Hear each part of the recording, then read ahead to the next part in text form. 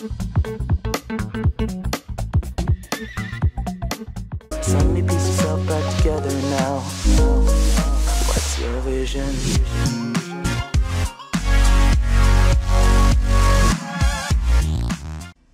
hey guys welcome back to my channel so आज का video का टॉपिक है कि how to use two K compound so two K compound is basically क्या होता है कि एक पॉलिश है जिसमें स्मॉल ग्रेनुलर पार्टिकल्स होते हैं। सो so, जो कि पेंट करेक्शन या फिर पेंट आपकी गाड़ी के पेंट पे या प्लास्टिक पे छोटे मोटे जो स्क्रैच आ जाते हैं ये उसे आसानी से रिमूव कर सकता है। एंड मैं जो टू के कंपाउंड यूज़ करने वाला हूँ वो है वैक्स पोल का फेविकोल का प्रोडक्ट है। एंड ये जो मुझे बॉटल पड़ी अराउंड सिक्सटी रुपीज़ की है। एंड इस प्रोसीजर में आपको चाहिए एक स्पंज टू के कंपाउंड और एक क्लीन क्लॉथ तो क्लीन क्लॉथ से पहले हम जो भी सरफेस जिस पे टू के कंपाउंड अप्लाई करना है उसे साफ़ कर लेंगे सो so दैट कि वहाँ पे कोई भी ऑयल या डेबरी नहीं हो।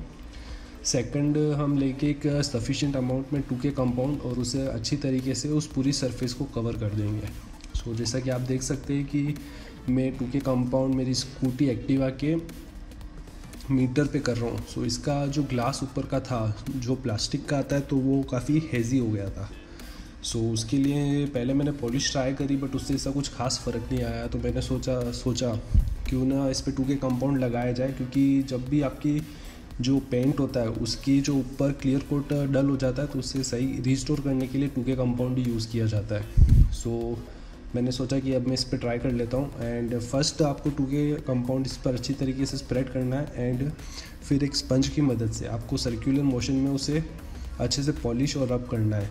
आपको प्रेशर अप्लाई करके रखना है। जितना ज़्यादा प्रेशर अप्लाई करके आप इसे सर्कुलर मोशन में मूव करेंगे उतने ही आपको कम नंबर ऑफ़ रिपीटेशन करने पड़ेंगे। सो so, जैसा कि आप देख सकते हैं कि पहले जो हेजीनेस थी दिखाई दे रही थी वो टू के कंपाउंड लगाने के बाद थोड़ा क्लियर हो चुका है प्लास्टिक एंड ऊपर ये हल्का सा जो पॉलिश का इफ़ेक्ट होता है वो दिख रहा है। एंड इसे भी सर्कुलर मोशन में हम लगाकर घुमाते रहेंगे तो वो कम होता जा रहा है। तो जैसा कि आप देख सकते हैं वैसे तो सिंगल कोट में भी ये काफ़ी सही तरीके से रिस्टोर हो चुका है बट uh, मुझे ऐसा लगता है कि इसमें एक second repetition two K compound का वापस करना पड़ेगा। तो उसके लिए से प्रोसीजर वापस सेम ही है आपको सफिशिएंट अमाउंट में टू के कंपाउंड लेना है। एंड इस बार मैं इस पर क्या करूँगा कि टू के कंपाउंड लगाने के बाद पाँच से छः मिनट जब तक कि वो टू के कंपाउंड सूख नहीं जाता उसे इस पर रहने दूँगा। फिर उसे वापस हम सर्कुलर मोशन में अच्छी तरीके से रब करेंगे। तो जैसा कि आप देख सकते हैं, सिर्फ़ एक एप्लीकेशन टू के कंपाउंड लगाने के बाद ये प्लास्टिक पूरी तरीके से रिस्टोर हो चुका है एंड इसमें बहुत ही शानदार शाइन रिस्टोर हो चुकी है। एंड ये काफ़ी चमक रहा है।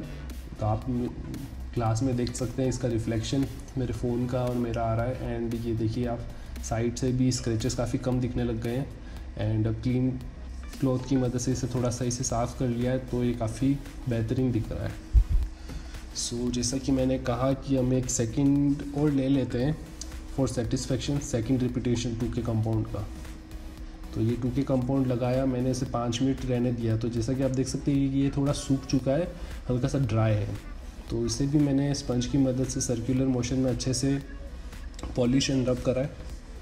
तो ये देखिए आप कितना परफेक्टली ये प्लास्टिक रिस्टोर हो चुका है। लग ही नहीं रहा था कि इस पर छोटे छोटे स्क्रचेस थे, वो टोटली गायब हो चुके हैं। एंड लास्ट एप्लीकेशन ये है कि मैंने एक नॉर्मल पॉलिश जो अपनी होती है बाइक की उसे लिया है।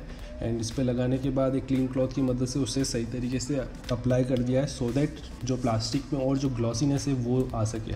सो so ये हमारा फाइनल रिज़ल्ट तो इसी तरीके से आप टू के कंपाउंड आपकी गाड़ी के पेंट या कुछ और जहाँ पे छोटे मोटे स्क्रैचेस आ चुके हैं प्लास्टिक पार्ट पे उससे अप्लाई कर सकते हैं एंड उसे पूरी तरीके से रिस्टोर कर सकते हैं। सो so, अगर आपको ये वीडियोज़ अच्छा लगा गाइस तो लाइक कीजिए शेयर कीजिए एंड कमेंट कीजिए।